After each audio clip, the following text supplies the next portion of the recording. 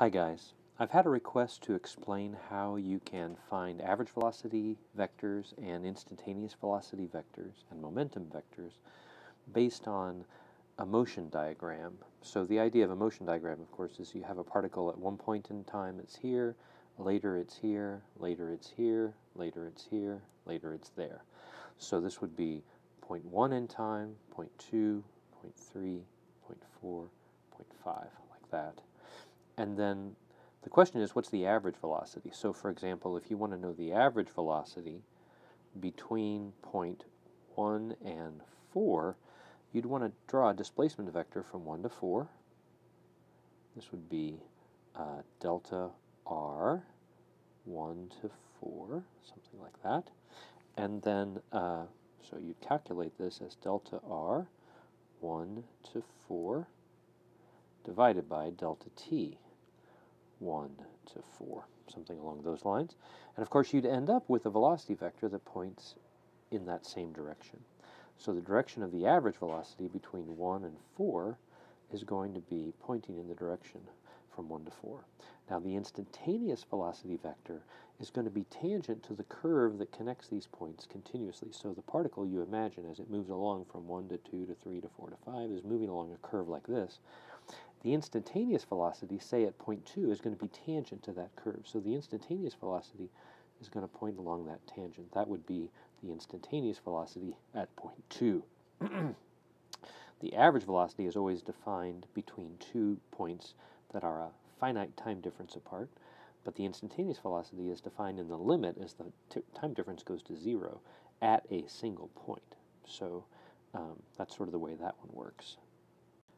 Now then the question is, how do I deal with changing momentum? So if I reproduce that same basic picture, say I have um, points 1, 2, 3, 4, 5, and I want to know the momentum change between two places. So let's see, I imagine the curve that connects these guys is some kind of thing like this, right? So the momentum at point 1 would be tangent to the graph at point 1. So that would be uh, momentum 1. Momentum 3, for example, would be tangent to the curve at point 3, so that would be momentum 3.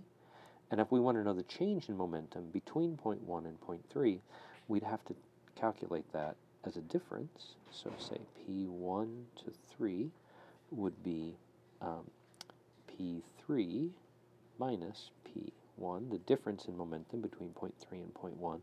And if you think about that, um, the momentum at point 3 looks kind of like that. The momentum at point 1 looks kind of like this. So this would be P3. This would be P1.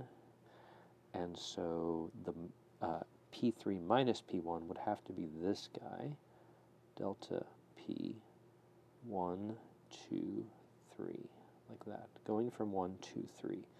So you add momentum 1 and delta momentum 1 to 3 together to get momentum 3.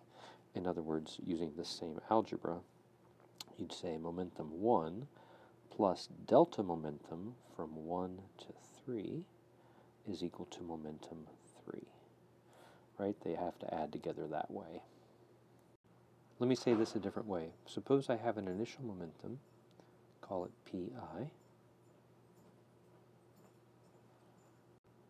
and let's say we add a second momentum, a later time, that would be uh, P final. The notion is that I should be able to move this P final up to here to calculate the change in the momentum, which would be something like this, delta P. This is from initial to final. Okay? The initial momentum plus the change in momentum is equal to the final momentum. The final momentum is the initial momentum plus the change in momentum. That's the way it works pretty much all the time. I hope that helps.